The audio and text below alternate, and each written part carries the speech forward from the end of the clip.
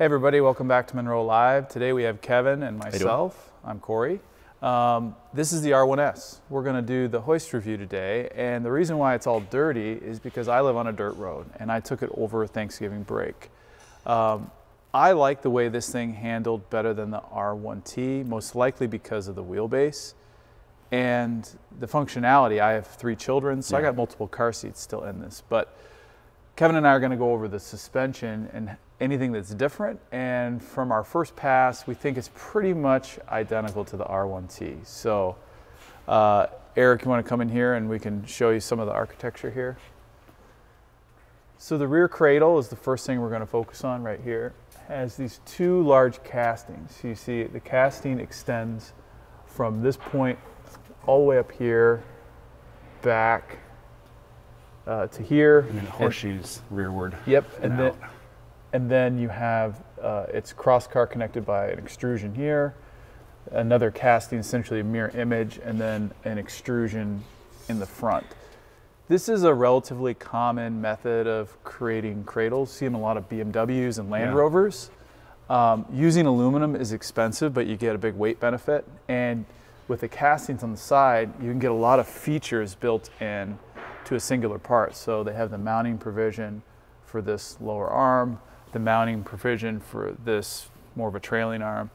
And Kevin and I were kind of joking when we went over and looked at the R1T parts laying on a rack. I said, man, this looks expensive. And what we mean by expensive is they're using some of the highest quality manufacturing methods. These are, these are forged components right here. One, two, three.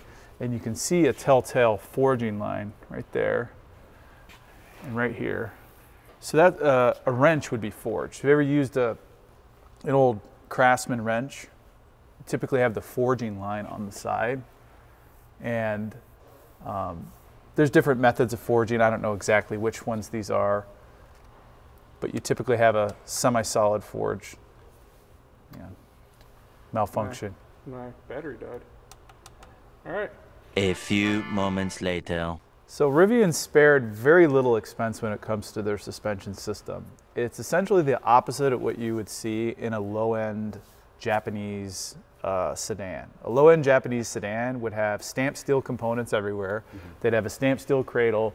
They'd have a spring and a gas shock. This thing is like amazing. Now, Kevin, you want to walk through the type of materials and choices they made, and as well as the air suspension. Yeah, sure. So, you know, obviously here you can see what's pretty novel about this is that it's an, it's an air over hydraulic setup. So um, one of the big differences is from a system perspective, there's, there's no sway bars. They're controlling the vehicle roll with the system itself. So there is some like component reduction that's happening there, um, you know, across the vehicle, but so you do get the added benefits of the, the ability to control each wheel independently, you know, with the system and that complexity. At least they were able to get out the sway bar components uh, across the vehicle. Um, so that's something that we do like, you know, from that perspective. There's obviously a lot of complexity here, but um, as Cory was kind of discussing, you have a forged lower. There's a series of multi-links here. You can kind of come down. This is where the the spring itself is sitting on, and then the knuckle comes down here. There's kind of a trailing arm that comes up, and then we have a, another forged fork where this, uh, the dampener for the rear suspension sits, and then there's two more links, and then you can see their parting lines on all of them, and that one's actually pretty clean if you get in there and see it, Eric. But you know, all forgings. Um, a lot, most of the the call outs for this, if you can see here, kind of like the plaid, made in China. Um, so that does help keep some of the cost down on this itself. But um, it is a a very expensive execution, but a very premium execution as well, as far as the four forgings and castings and and what they've kind of decided to to bring to bear here. Yeah, and this vehicle has an amazing ground clearance. I believe it's 15 inches of ground clearance. I believe so. I think it's like somewhere in the realm of like eight inches of travel. Don't quote me on that, but it's it's very high. Oh, eight inches of travel. Yeah. Yeah. And what you can see it just up on the hoist, how low the suspension hangs down. Yeah. And that's enabled by the position of this point further inboard than you'd have in a typical vehicle. So in a typical vehicle, this would be further outboard, I'd say four, six inches, maybe three, four, five inches more outboard. And what this allows you to do is it gives you a bigger moment arm um, so that the circle is larger. So the radius being longer means that you don't have as dramatic of a tilt of the wheel uh, when it comes down. So if this was even further, it, the wheel would stay straighter up. So it's all about geometry and being able to have the wheel drop and not actually swing in based on all the connection points of your upper, your lower, and the trailing. Um, so I'm not a suspension engineer, uh, but one thing I do know is that the further inboard you can get Yeah. this, uh, the better the geometry is for going going really high up and really Yeah, low. low essentially down. that's the only way you get travel on like an independent rear or independent front suspension, you know. And there's only so much you can do as far as bringing with these battery monuments inboard. But if you saw, and we had some like customer here with some more off-road focused vehicles, and that was a conversation of how far inboard could you pack it up, package Yeah. a motor and drive line, and yet have control arms that were coming in very, very, um, Yeah. very far inboard. If you ever saw like a pre-runner truck or any of those trucks that have like you know 20 inches of suspension travel, essentially their control arms are like almost on the center line of the frame themselves, and they kind of reach out to get travel and. Uh, Yeah, another important enabler is the powertrain setup. So if you had an offset powertrain setup, so Eric, you want to come in here, it would be very difficult to have this level of articulation in the suspension. But Rivians have quad motors with a centered uh, output, meaning the left and the right, or the left and the right CV axles are at the very same spot, and they're very long. And having a short CV axle also uh, limits your articulation of your suspension, particularly for in the front for steering, as well as in the rear. So these are long. You can see here to here. It's got to be I don't know, a foot and a half. You know, pretty long. And uh, other OEMs, if they have one single large motor and it's offset, you'll actually have one short. They'll both be short, but then there'll be a transfer shaft. So having them in the center enables maximum length and equal length on both. Uh, something that's very important. We want to thank Anker for sponsoring Munro Live. They provided us with their GaNPrime line of products. Now, what is GaNPrime? GAN is gallium nitride. And what does that mean? That means you get more power, more wattage in a smaller package. Our team makes sure that when we tear this product down, the 727 charging station, they're using high quality components intended to last for a long time. You can see the GAN chips right here. So you have one, two. GAN technology will soon be prevalent in inverters for power converting in electric vehicles, but it's not yet out there. So if you want to learn a little bit more about high-end technology, look at gallium nitride. So if you want a premium replacement for your charging needs, consider Anker.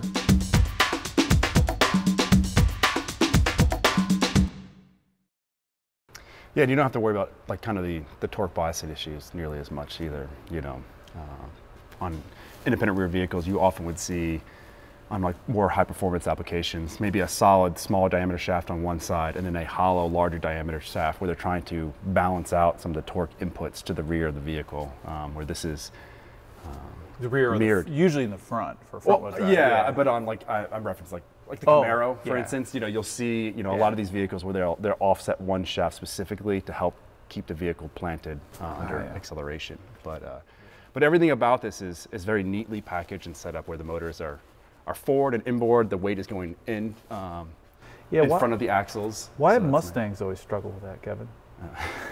nice. cost? Um, so Sorry, Kevin used to drive a Mustang. Yeah, So. I'm trying to get another one back. But um, but yeah, it's overall it's it's very interesting. The biggest, honestly, the biggest difference that I'm seeing here between the R1T that we have and the R1S is essentially like just the quality check marks. You know, um, ours has marks on some of the welds, but this, whoever's gone through this has gone through some effort to go through and physically show that they have checked. We have.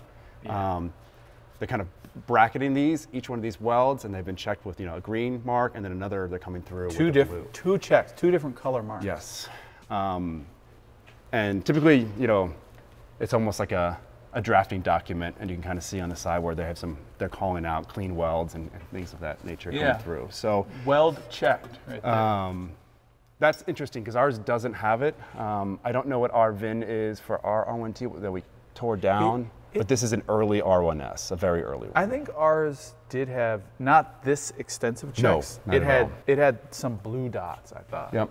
So to see, there's a blue dot right there. So you see blue dots, light green, and dark green. So this is clearly something that's important to them Yep. is, is weld quality. And you can see there's also weld quality checks on the brackets that mount to the powertrain. Blue dots and multiple colors of green. I, I've never seen essentially like this type of check uh, done before. Well, you'll see on the Ah. control arms where they're, you know, they, they hash through some of these fasteners. That's very common, but something where they're going through and bracketing this, I, I've never seen it. They may have changed the Ah. process. They may have some concerns with something, but um, that's the biggest difference I'm I, seeing between I just ours. noticed something. Go ahead, Maybe yeah. came to a conclusion. Look in here, Eric. You can see there is a certain green color mark on that fitting right there. That green paint on those two uh, fittings right here and here matches this.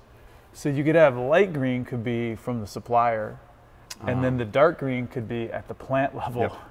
And they're So you could be double checking. and that's know, not some- uncommon on Sometimes, yeah, especially this is very early build. This is VIN number 00140. So you- typically they start with 001, right? So for an R1S, this is most likely one of the first 500 built. You never know what order they build Sure. them in. And um, so uh, we spent a lot of time on the rear suspension. Uh, we also want to focus on the this CFRP, so carbon fiber reinforced plastic. And this is how the BMW i3 was made. So we, you can tell by the, the resin here. So it's typically about 45 to 55% woven carbon fiber mat, and then they, they form it and put it in a mold, and then they shoot essentially like a resin and epoxy into the mold, and then the semi-transparent color here is thickening of the actual resin. Uh, this is a really robust protective piece. There's one on the rear, and I think two on the rear. There's one here, and there's another one that we took off so that we could see in here. Um, this, is- Kevin, is this, isn't this a package you can buy? I believe it is, yeah. And you can see here, like, uh, if you were to look, Eric, there's kind of a difference between the way that the, the resin is is flowing through here. For this com- component, it's it's not a big deal. Um, you know, it's not a Class A component. But if this was like a hood, like on a Corvette or something like that, it'd be kicked back. Like when you look at the difference of the resin infills here, you can fall through here. So there's resin pooling there, and then there's not. Now, you can use resin like this, like on the BMW i3, as Cory mentioned. There's all sorts of like really cool resin channels that they put into that to guide wiring features. So you can do this very deliberately, but this doesn't seem to be that deliberate. It could just be a mild, you know, resin flow issue uh, that they might be having. But composites are cool, but they are expensive. But they're very well suited for kind of low volume applications. So this vehicle has a shorter wheelbase than the R1T. I believe it's 121 inches versus 135.8. And a lot of that's made up essentially right here. I think they shrink it. Uh, the R1T had more space here for a bigger battery. And this has a 128.9 kilowatt hour battery. So still decent range. I never had it fully charged up. I was in like 220, 250 miles of range. I only had to go charge once over the weekend, and I charged at my house, you know, with the with the low charge. But plenty of space for a decent battery to get 316 miles of range, and the battery itself, uh, you can see they have a protective panel here on this. You see this? looks like a another either carbon fiber or Yeah, I believe believe for the Yeah. battery closeout Yeah. itself. I find it very interesting that there's essentially like we like extrusions. I think I've probably said that phrase, you know, 30 times at this point. That we like them. They're they're cheap to tool up for. You can do a lot of complex, you know, shapes within them. But I find it very interesting that there's essentially two completely different strategies between the front and rear um, suspension on this vehicle, as if there was I- would argue it's probably timing that does a lot of that stuff. Timing for different things have changed, but the fact that there, when I looked through here, there's a lot of key places where you'd want a casting, but you know all this, all this weld, especially you know stack ups of weld here causes a lot of heat introduction to the system. Uh, they're just, it, I find it very interesting that we don't see the same level of casting integration in the front that we do in the rear because I'm not seeing anything um, about the current product portfolio. Um, that would suggest that they want to stay with something where they have a lot of flexibility to swap, you know, components out. But it is, it's a lot of fixturing, it's a lot of welding that's going in the front of this, um, this cradle. So from a capital perspective, it's, it's very cheap as far as getting these, these components made through the extrusions, but the fixturing and assembly and manufacturing process is, you know, vastly more expensive than the rear. So um, it's, it's one of the most interesting things about this vehicle is the difference between the front and rear suspension as far as the cradle uh, manufacturing strategies. And the, my main takeaway from this Rivian, this R1S, is starting at a base price of $91,000, going up to probably over $100,000. You are getting that much money worth of vehicle. And what I mean you're getting that much money worth of vehicle, Munro Associates makes our living off of doing cost analysis, reverse engineering of, I mean, dozens, hundreds of vehicles over the past you know, two decades. Kevin and I have seen hundreds, Right. hundreds of vehicles. And if you blindfolded me and walked me under here and said, "What vehicle are you under?" and you, you moved me into the future, I'd say this is a high-end electric Range Rover from the future. Yeah. Like this is what I would expect from a premium, a premium suspension component, uh, max off-road capability. Clearly, I know it was electric, and even the brakes are just gigantic.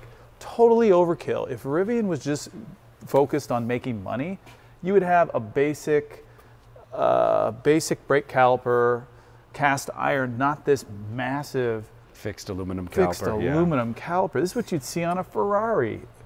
Look how big it is. What is it? Six piston? One, two, three, four, five, six. Yeah, it looks like six. My goodness.